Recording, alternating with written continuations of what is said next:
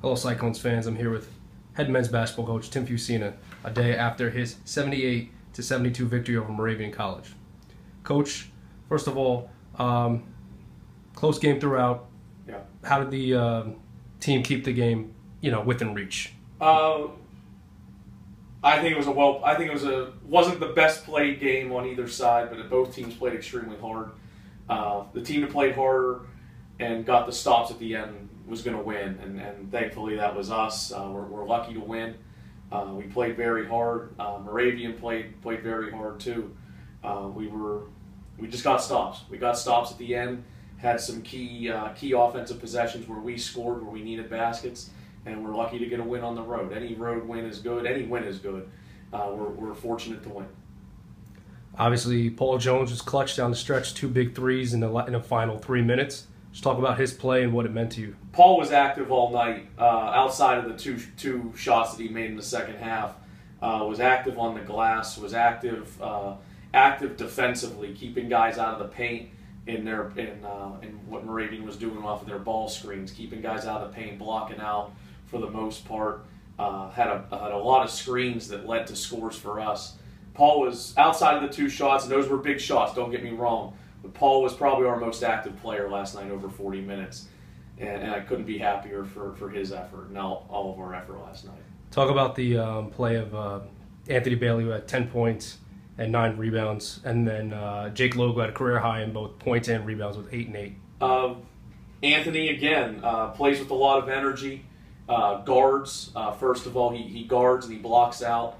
Uh, does his job. He's doing an excellent job this year of staying within himself, doing what he can do, and um, and that's helped us. That's really helped us. He's somebody that we can go to off the bench, and he can play 25, 30 minutes a night, and and provide us with great energy, great uh, great defensive effort, and when and he's scoring on the offensive side because he's able to drive it and he's driving under control and, and taking the ball up strong.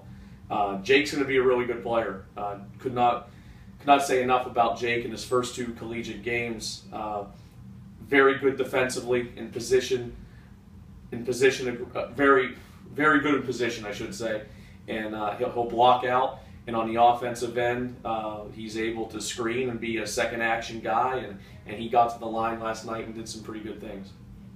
Uh, obviously, you got big play from uh, Zach Dumich and Miles McLeod. Zach had uh, six points, eight rebounds, four steals, and Miles had also six points, eight rebounds, and two steals. Just talk about what they meant to you last night. Miles wasn't working on the offensive end a whole lot for Miles when he goes, I think, one for six and then gets to the line four times, makes all four th- free throws.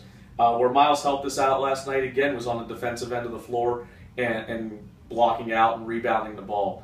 Uh, I tell our, our, guys all the time if shots aren't falling, you can make up for it and stay on the floor. If you're active on the defensive end, you block people out.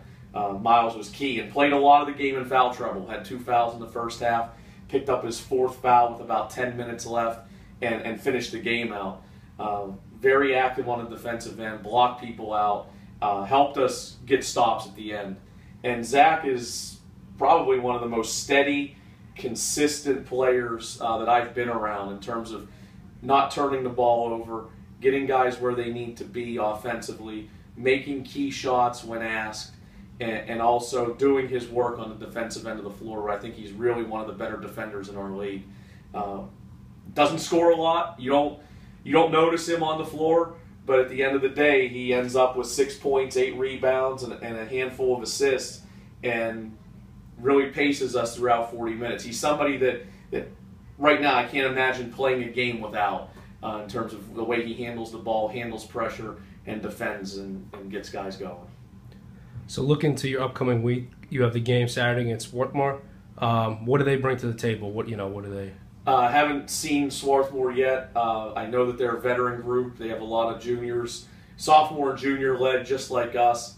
Uh, they come from a great league. The Centennial Conference is consistently one of the top five conferences in Division Three, and we're on the road. It'll be a challenge for us, but I think that we're comfortable. We're comfortable with that challenge, and I expect us to go down there and, and play hard and give give ourselves a shot.